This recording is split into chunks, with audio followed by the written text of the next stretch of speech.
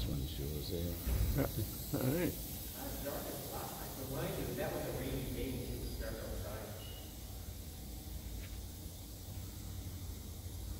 So that's it with no lights inside. But this camera is uh, so good that it just compensates for it almost.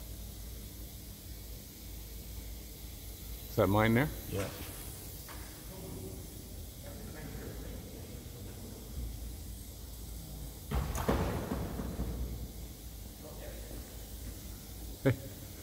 going through. We're just fooling around.